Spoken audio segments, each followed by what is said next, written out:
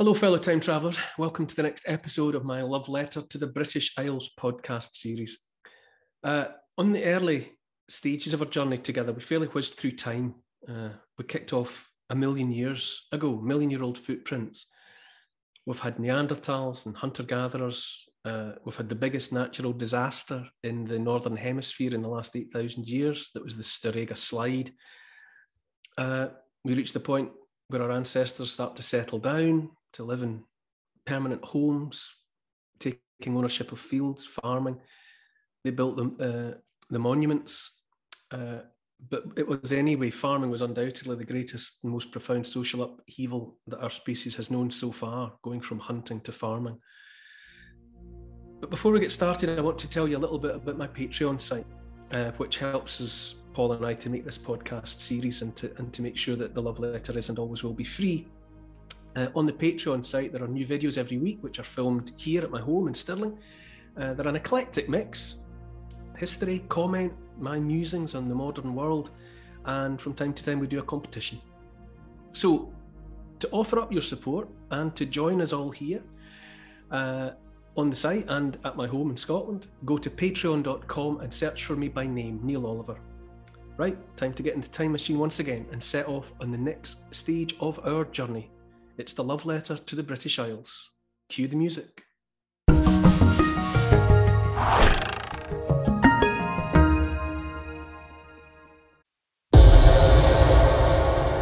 The people who made us, the ancestors, it's all there.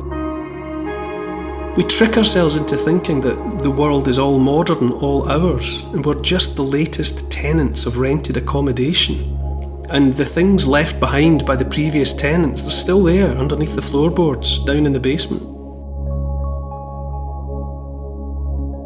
In my podcast this week, I'm taking you to a place that helps tell the story of the most profound, self inflicted social upheaval our species has ever known. When our view of the world and our place in it changed forever hidden for thousands of years beneath a thick layer of protective blankets, in a landscape of breathtaking beauty. Evidence that marks the start of Homo sapiens' ascent to become the undisputed ruler of the world. I'm stepping out across Britain to discover 100 remarkable places that have shaped you, me, and the whole planet. I'm Neil Oliver, and this is my love letter to the British Isles.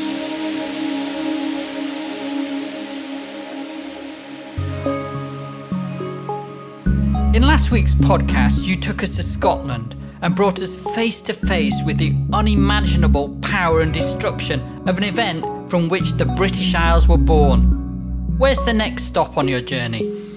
We're travelling to the west coast of Ireland to the Céide Fields in County Mayo.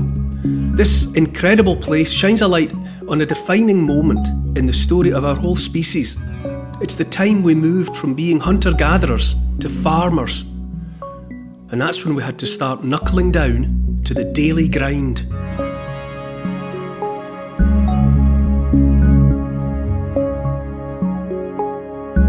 The daily grind is an expression that's so familiar for most of us that it's easy to forget that it, it comes from somewhere. It's just part of the language. Uh, but in truth, the daily grind is from the time of the first farmers.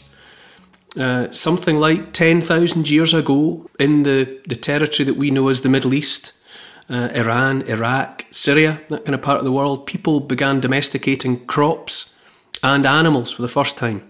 Before that, people had always lived by hunting and gathering wild foods. Almost immediately, once people had grown crops of wheat and barley, uh, it became necessary to use those seeds that you gathered every autumn, you use them to make food. And you do that by grinding uh, the wheat and the barley into flour. And from that, you can make porridge or bread or whatever, the, the staples of, of a farming lifestyle. And the fact of the matter was that for the first farmers, someone or a few people in every family every day had to spend hours grinding seeds into flour. That's the daily grind. It was a repetitive activity. It was going to have to be done today and you'd have to do it again tomorrow and every day thereafter. And when you became too old or too infirm, your children would have to take on the responsibility, and so it would go on. We all think about the daily grind as having connotations of hopelessness, chores that never come to an end. The skeletons of the first farmers, when we excavate them, there are the telltale marks of wear and tear in their lower backs and in their shoulders, and it's because of the labour of being bent over the grinding stones every day. It's good to know where we get the expression daily grind from, because the fact of the matter is that the change that the human species made from hunting and gathering to farming is the greatest uh, self inflicted social upheaval our species has ever known. It changed everything our psychology, our diet, uh, our physiology, they were all affected by this profound change from hunting and gathering to growing our own food and keeping our own animals. That phrase, the daily grind, is still so common. It, it continues to sound modern and relevant, but it's ancient. Yeah, it's the literal truth though. It's grinding. People literally had to grind seeds into, into flour so that they could bake bread, make porridge. For the first time, people had control over whether or not they had food rather than going out looking for it and maybe finding it or maybe not. For the first time, people could predict where their food would be. They could harvest it from the fields or they could slaughter the animals. But the, the flip side of that, the flip side of having a, a guaranteed food supply, was that their diet became very repetitive there would be meat, they would have continued to hunt. You know, the farmers, they would still have gone out occasionally, or if they kept some sheep, or if they kept some cattle, they would have very occasionally, they would have allowed themselves some, some meat, but their diet was very repetitive. And it was a, a fundamental change that it altered everyone's diet, it altered people's physiology. The hunters were bigger, healthier in that part of the world, in the, in the Middle East.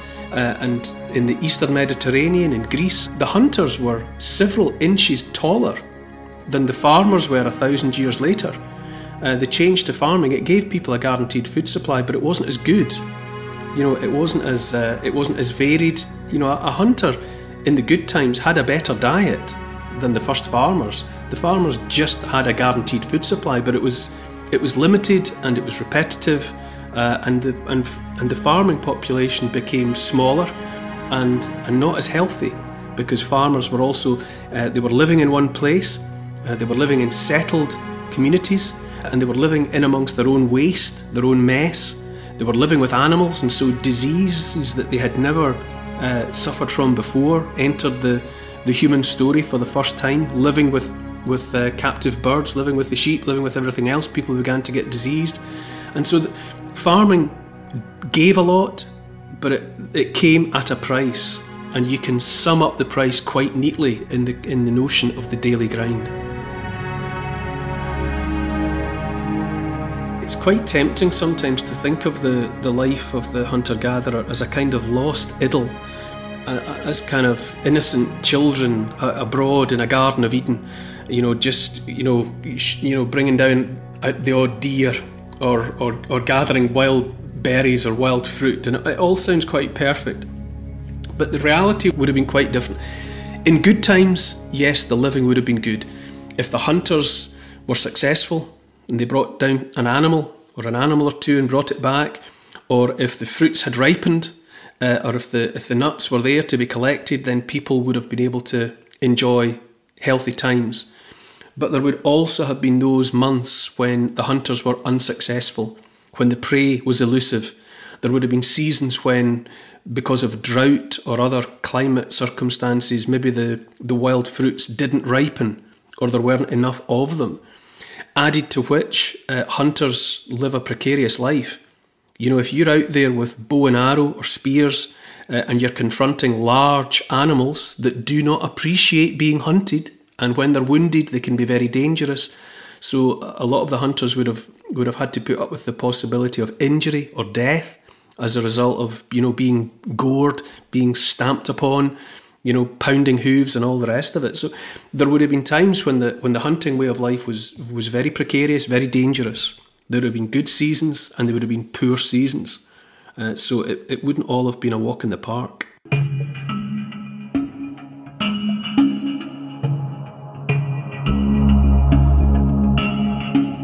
It still has a resonance today, though, doesn't it? I'm thinking about how popular things like the recent paleo diet was. Where do you stand? Would you have preferred to be a hunter gatherer or farmer? I think if I'm asked to give a straight answer to the question, would I want to be a hunter, would I want to be a farmer, my heart tells me that I want to be a hunter. I think it's quite natural to be drawn to that way of life, you know, on the move, uh, moving from place to place, following the herds, uh, going in search of the wild foods. It does sound idyllic, it sounds ideal, it sounds carefree, but that's my heart making the decision. My head would make the decision that you'd be better off most of the time as a farmer.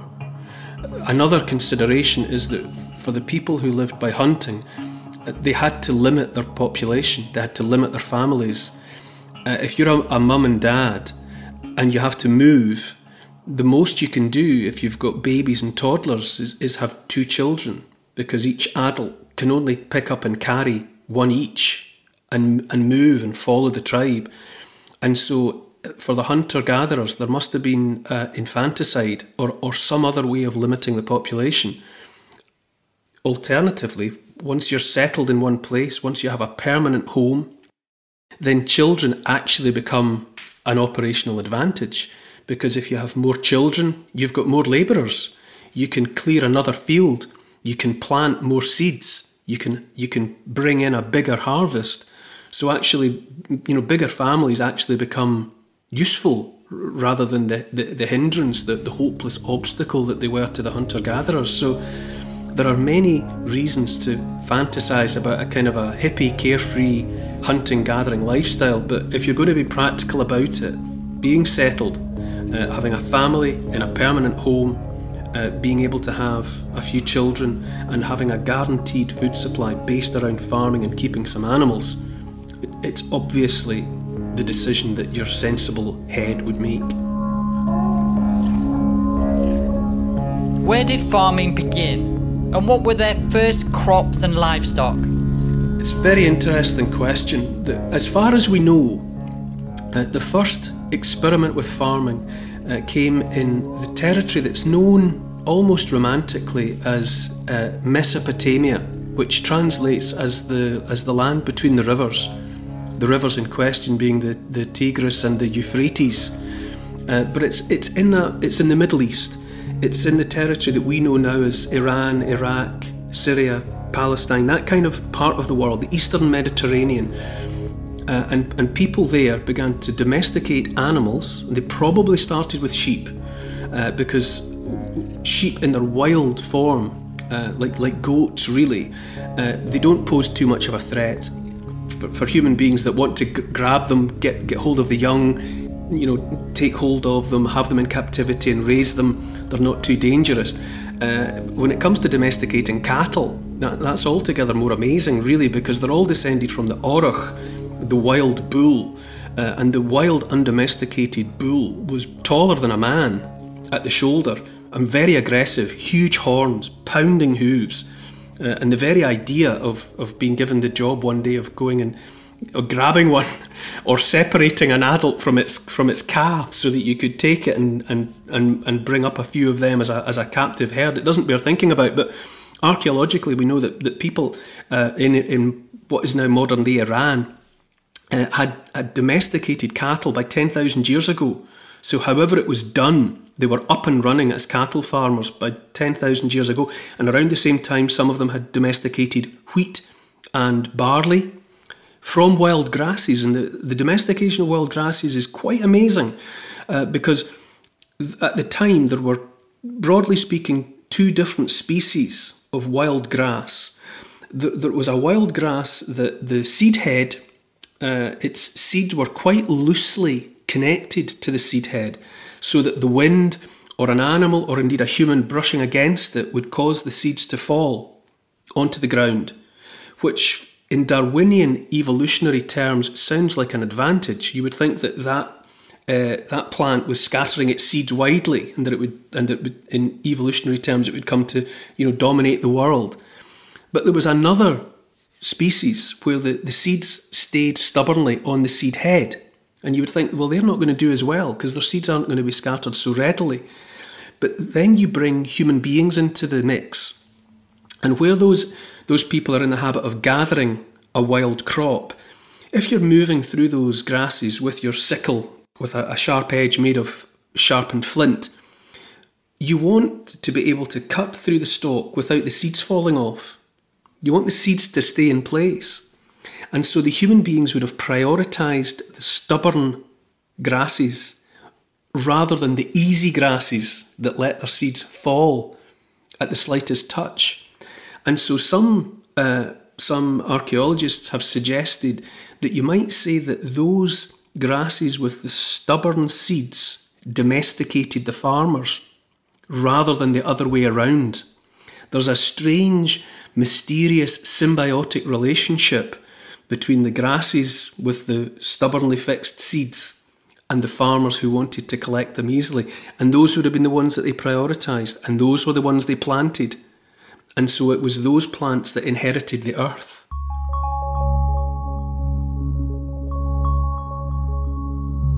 And so, by 10,000 years ago, in the Middle East, you had people who were living in, in uh, semi settled or, or, or permanent settlements. They took the step of, of clearing fields, planting them, and knowing exactly where those plants would be. And that's the advent of the first farmers. Farming is so ubiquitous and cemented in our psychology. We don't give it a second thought today. But this was a giant leap, wasn't it? Yes, we're, we're coming to terms with it to this day. You know, people, the daily grind, you know, that, that idea that that gets a lot of people down, having to get up every day at the same time and, and embark on a job. Now, we're not all farmers, but farming structured the day for people in a way that uh, hitherto it had not been structured. Suddenly you had to get up at the same time every day, go to the place, do the set tasks, do them till the sun went down, and then you went home, grabbed something to eat, went to your bed, and you got up the next day and did it again. Now, a lot of people in the 21st century, they have all sorts of emotional troubles, depressions, uh, you know, struggles with that constantly repeating cycle. Well, we've been coming to terms with it for the last 10,000 years. Also, being in one place living in one house, having neighbours that you saw every day. That repetitive format of life is something that came to us with farming, and we are adapting to it psychologically and physiologically to this day.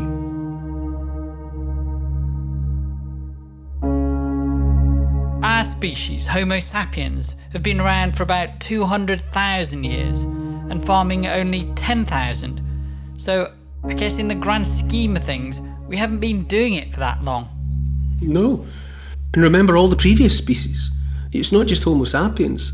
Everything before, the Neanderthals, uh, Homo heidelbergensis, Homo erectus, all the way back to the uh, Australopithecines in sub Saharan Africa, the first of the apes to be up on two legs and, and beginning to behave in a human way. They were all hunters. So you could say that we've been hunters for four million years and farmers for about the last 10,000. So it's very, very recent.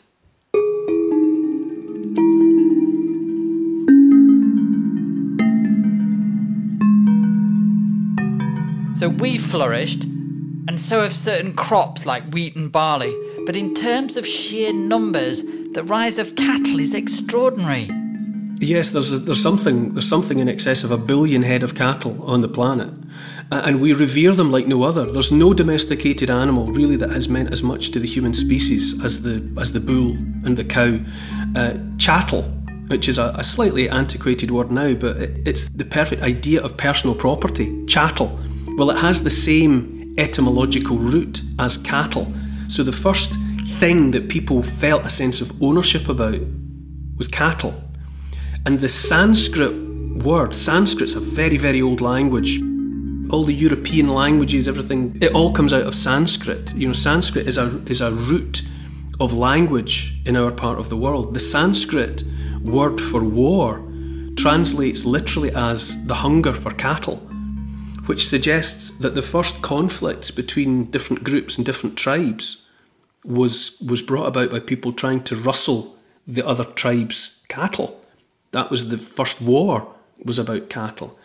And we all know today with global warming, you know, the methane that's rising from the vast herds of cattle on the grasslands that have been created by cutting down forest and creating these great grasslands for the cattle.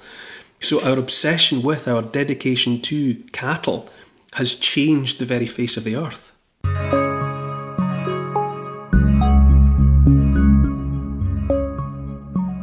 How did this new idea, farming, make its way from the Middle East to the British Isles? Well, there's then a process that archaeologists and others have been debating for the longest time. Uh, clearly, farming had its advantages. Depending on your your uh, your psychology, depending on what you wanted from life, there were good reasons to set aside the hunting way of life and to become a farmer. But the, the process gradually moved and it moved uh, in, in all directions. You know, obviously, eventually from the Middle East, farming spread east and west uh, and it, it crept across Europe very slowly, like a damp patch across a wall. Uh, it's, you know, it's, it's, it's moving very, very slowly. Archaeologists have debated from time to time whether it was a a movement of people, whether farmers were on the move, migrating, bringing their herds, bringing their, their sacks of grain, and always looking for new fields to plant and new grasslands for their cattle? Or was it just a movement of ideas? Was the technology, the science of farming just moving by word of mouth? So that, you know, people talked about it. What's that you're doing there? Oh, you've got a field. What's in the field? Oh, a crop. And, and, and oh, I think I'll do that as well. That looks like a good way to live. So either you think people moved or you think the it was simply the idea. And that's a that's a debate that you know the different sides of that debate come in and out of fashion.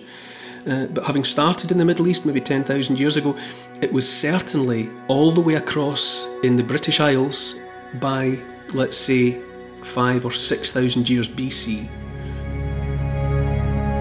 it's almost like an organism. It's almost like something with its own intelligence that's on the move. You know, it's it's spreading like ivy. It's spreading across the continent of Europe, and eventually, it's even in the west of Ireland, which is the end of the line. You can go no further. For a technology that's come out of the Middle East, which if you're moving in a westward direction, you know, there's there's no further you can go than the west of Ireland because you've now got the obstacle of the Atlantic Ocean it, it, it's such a, a determined technology, moving all the time. So it has taken a while to get here then? It took four or five thousand years. Just moving, just gra- whether it came by word of mouth or by the migration of people, probably a combination of both. So it, it's in Ireland. There's a particular location which is known to archaeologists as the Céide Fields, and it's a it's a perfect case study really in the in the arrival of a certain kind of farming. The Céide Fields uh, is in County Mayo. Mayo is, a, is a, an Irish word. It means the plain of the yew trees. So that, that that what's now the county of Mayo must at some point have been known for its yew trees. Céide Fields, which is the precise location in County Mayo, that's a word that means the fields on the flat topped hills. In the 1930s, there was a farmer uh, called uh, Patrick Caulfield, and he was doing some work on his on the ground, and it, a, a, lot of his of the Céide fields it's it's blanketed with bog with peat, uh, and he was he was cutting peat for fuel, which is what people have done there since time immemorial. You know, they cut into the, the peat, they dry it in stacks, and then it's burnt, and it's a it's a lovely fuel. It gives a lovely smell as it burns, and it's got a lovely, uh, you know, uh, red rosy glow about it. It's lovely. So it's a traditional material that he was that he was collecting in that way, and he was digging down into the into the peat, and he, he found deep down, right underneath the peat, big stones. And he realised, in, in the way of people that work the land, that, that, that these weren't just random natural boulders. They weren't just naturally there. They had been placed there. He realised that he had some of the courses of a wall, big stones shaped roughly and piled on top of one another to create a wall. Now, for his own reasons, he decided not to investigate any further. He saw what he had found, but then he just went on, cut his peat, set it to dry, and went home and told his son. His son is Seamus Caulfield. And Seamus became much more fascinated by these stones. And in truth, spent has spent his entire life investigating the mystery of these stone walls of the Céide Fields. Uh, and he has done it by prospecting with a, a long iron rod, twice the height of a man. And you take these rods and you push them down into the into the peat, and you push them down. And if you're lucky, you strike on stone, and you can hear it like the ringing of a bell, and you can feel it. You can feel the, the tip of the iron hit the stone. And in this way, he has mapped mile upon mile of dry stone walls. In fact, during the course of his lifetime, he has found and mapped something like 70 miles of stone walls. And when you see what he has uh, been able to map, you can see that farmers working, as it turns out, five and a half thousand years ago, had built great stone enclosures on a vast scale. And they built them to help them look after herds of cattle. If you're looking after cattle on a large scale, then you need to be able to divide the herd up at different times of the year. Sometimes you need to keep the bulls separate from the cows. If you've got uh, cows with calves, you need to keep them separate, and so on. You need you need different enclosures, and this is what Seamus has been able to map by using these uh, metal rods. Now, you might ask the question justifiably: Why are they buried in peat? Why are they deep underground? Well, to answer that, you've got to understand a little bit about climate change when farming first arrived in Ireland, you know, 5,000 years BC, uh, the climate was quite different. Uh, it would have been drier, warmer. Uh, there would have been uh, initially uh, open woodland that the farmers would have cleared in order to create fields and pasture land. They would have cut down the trees and then they would have planted cereal crops, wheat and barley and oats in those fields. And the conditions were good uh, and it was a, a, kind of a Garden of Eden. You know, they were it was a productive place. And then period of climate change set in. There was increased rainfall, uh, and when rainfall increases on the ground beyond a certain point, it can't evaporate. It, it, the, the ground becomes permanently sodden because the available sunlight isn't isn't evaporating the, the wetness. So the ground gets waterlogged there are plants that enjoy that kind of environment and they grow, but when they have had their lives and they die, they don't decompose. Uh, the anaerobic conditions of this waterlogged environment preserve them. There are tannins that gradually uh, that, that, that, preserve the, all that material, and it, it, builds up thicker and thicker and thicker. Uh, it's like blankets piled up on a bed, uh, and so it starts out just with one layer of vegetation, but then as the years go on, it gets thicker and thicker and thicker. This process has been going on in places like Ireland for thousands of years, and by now, in a place like County Mayo, the blanket bog is, is as much as 15 feet thick, completely smothering the older landscape, like a thick duvet laid over the landscape. It's burying everything that went before. And so, what Seamus Caulfield is doing is, is probing down through this thick layer of peat and finding these buried walls. But something on that scale speaks to a whole farming community. Many, many people all working together to build the walls and to look after their herd of cattle. It speaks of a great deal of social organisation, and that's another amazing feature of the of the move to farming. People had to work together. You know, hunters, you know, hunting hunting bands, families, tribes, you know, they could they could roam in the landscape, but if farmers wanted to get anything done, then they had to collaborate. It, it fosters a kind of collaborate, collegiate activity. And that's what you see at the Céide Fields these, these vast enclosures of dry stone walls that these people had worked to create so that they could look after and take care of their cattle. Uh, and the fact that, you know, after thousands of years, that technology, uh, that desire to live differently had come all the way to the west of Ireland, I find, uh, you know, profoundly moving. And it does something to people. The adoption of farming makes them think and behave differently. Hunters, the people who live by hunting and gathering, who, who roam across the landscape, in all likelihood, they feel that they belong to the land, that, that, that they are part of the landscape, and that they are brother to the bear, you know, sister to the deer, you know, that they have some kind of relationship with the animals. Farmers are different. Farmers seem to feel that they own the land, and that with that ownership comes a sense of responsibility. You know, they have to take care of the land, they own it now and with it seems to come almost an obligation to alter the landscape. So they build on it for the first time. The hunters don't build. Hunters don't build houses. They don't build dry stone walls. They don't build tombs for their dead. Those are all practices that come with farming. And so you have people who, for the first time, are fixed in the landscape. They live in one place for the whole of their lifetime. And then their children are born there and they live there for the whole of their lifetime. As people die, they raise tombs, and for the first time, people start to bury their dead in great stone houses of the dead. They build houses for themselves. You know, they live in permanent locations, they live in a permanent address, they have neighbours. You know, they have the same people that they see every day.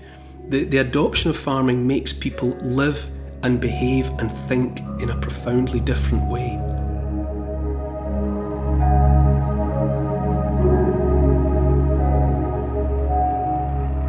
Céide Fields, the oldest known field system in the world, is a snapshot of that transformation and how the whole planet was changed. Yes, uh, uh, farming farming eventually reached everywhere. Of course, in certain places, in certain in certain remote locations, there are still people who haven't adopted farming. There are still hunters in the in the in the rainforests of the Amazon. You know, there are still people who live in the old way, in the original way, but for the vast majority of the population, the, the consequences of farming were deep and permanent and long lasting, and they changed everything. They changed the way that people live, and those changes are still with us today.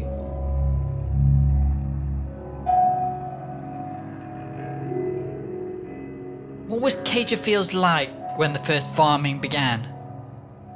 the landscape was completely different. The the blanket bog was yet to form. It was gra- it was grassland. It was the kind of terrain that was suitable for cattle. It was also the kind of terrain that was suitable for fields where you could grow cereal crops. It was profoundly different, and those people would have had generation after generation of living that way, building their walls, looking after their cattle, raising their crops. It's all there. Climate change has simply sealed it as though a like a time capsule.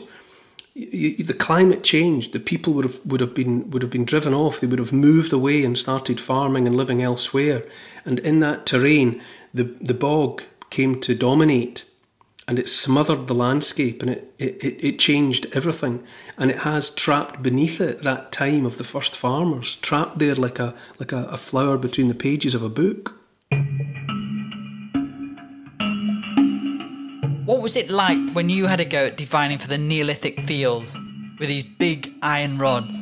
To go down into the into the peat like a knife through butter, it's not difficult. You know, you just you just push it down. It's, it's got just the texture of butter, and if you're if you're holding on to one of these rods when it goes down, and 10 or 15 feet under your feet and the, the, the bog it moves it's like um it's like it's, sometimes it's like standing on a rice pudding you know, it, it's it's kind of uh, sugary and jiggly under your feet. It's a bit soft, and you, you push the, the rod down, and if you're lucky, you hit the stone.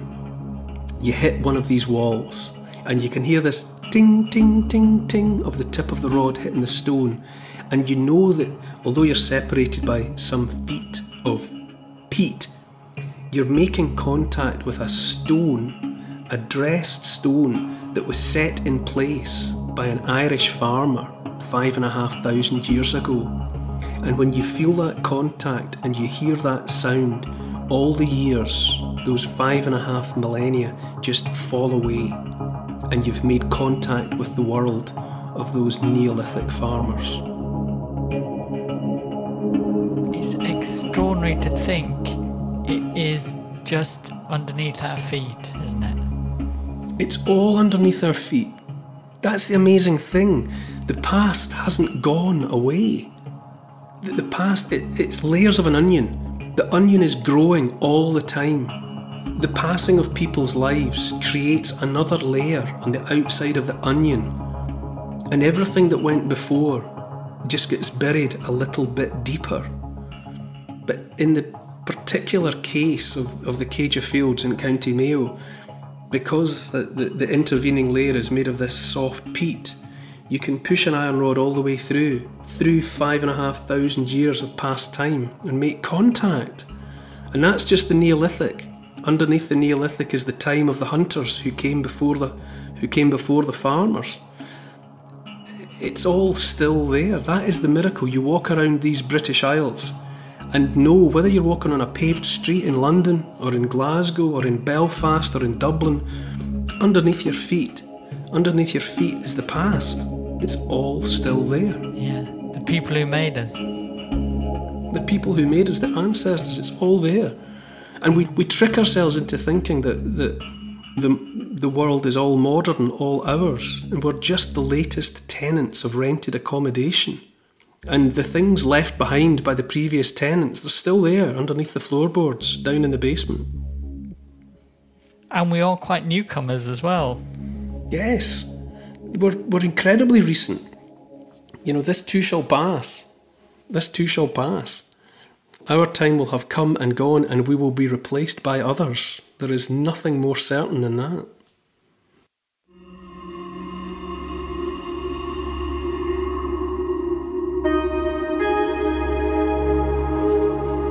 In 2003, a farmer in Orkney was working the land when his plough hit something large. This chance discovery, on a normal, everyday sort of morning, turned out to be a piece of dressed masonry that leads us back thousands of years to one of the most important archaeological sites in the world. Next time, in my love letter to the British Isles.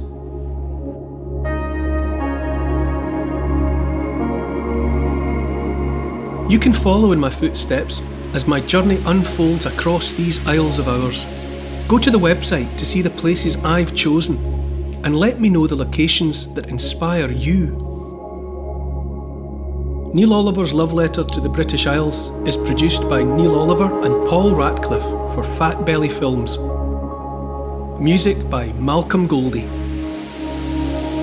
Additional research by Oscar, Evie, Lucian, Teddy, and Archie. Finance Catherine and Trudy. Post production Althorpe Studios. Photography by Neil R. Graphics Paul Plowman. And special thanks to the people across history who have made and continue to make these Isles such an incredible place. An FBF Podcasts production.